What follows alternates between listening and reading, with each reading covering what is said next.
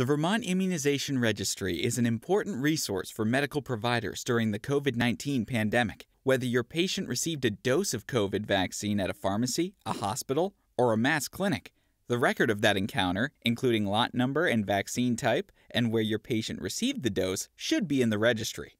In this video, we are going to show you how to use some new reports in the Vermont Immunization Registry to identify patients who have received a COVID dose, who are overdue for a second dose, and to find and reach those who have received none at all. We will also show you how to print a record of your patient's COVID vaccine history. For the purpose of this video, we are going to assume you have an account and know how to log in and look up a patient. We will begin on the vaccine grid inside a patient record.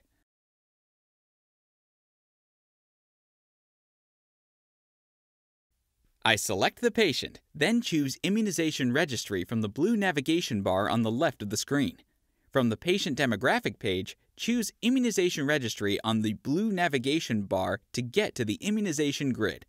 It is also the window to the patient and practice level reports. This video is going to discuss three practice level reports that can be very helpful to helping you understand COVID vaccination coverage in your practice and reach out to patients who are not fully immunized. If your practice is going to administer COVID vaccine, you will want to identify people in your practice who have not received a COVID dose yet. The patient list by date of birth has been modified to pull this information for you, so you can either call or mail notices to people in your practice who are not yet protected against COVID 19.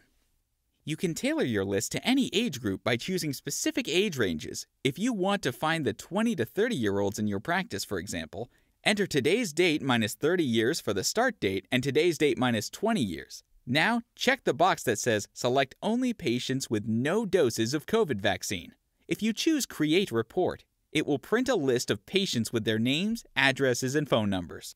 You can also print a list of mailing labels to contact those same people. Just enter the same date information, click the Select Only Patients with No Doses of COVID Vaccine, then choose Create Labels. This will generate a list of 3 by 10 labels that you can print and mail. Many patients in your practice have already received one or more doses of COVID vaccine. The Patients Immunized by Series report will select and print a list of your patients in a selected age range who have received one or more doses of COVID vaccine. The report shows which type of COVID vaccine each patient received, as well as listing all doses. Find the blue navigation bar on the left of the vaccine grid. Select patients immunized by series. Choose COVID 19 for the vaccine group. This vaccine was released 12 15 2020, so use that as the start date.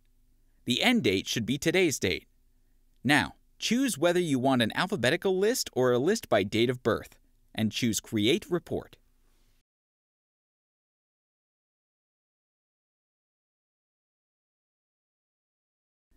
The registry can also help you find patients who may have missed their second dose of vaccine.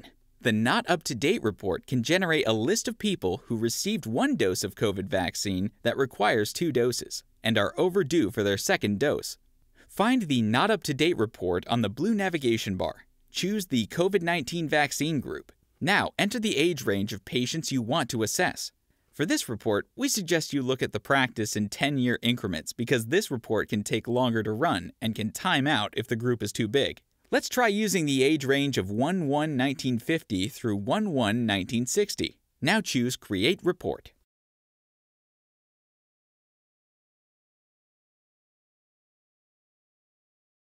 All of these reports work because the IMR links people with practices. Who are your patients according to the registry? Anyone who has received a dose of vaccine at your practice becomes associated with your practice in the registry. Flu doses and COVID doses are not included. When you run an IMR report, it runs this group of patients who are associated to your practice. Only family practices, internal medicine providers, and pediatric practices can have associated patients. But practices can add new patients anytime by finding the patient and changing the primary practice field to their practice, then selecting Save at the bottom of the page. Practices can also remove or inactivate a person from their practice anytime if they have moved away or changed providers. Use the Patient Status field to do this. Click on the down arrow at the right of the Patient Status field and choose Inactive, Moved or Gone Elsewhere. This person will be excluded from your patient reports. We think you will find these reports helpful. If you have more questions, please contact us at imr at vermont.gov or call us at 888 688 4667. Thank you for your support of the Vermont Immunization Registry.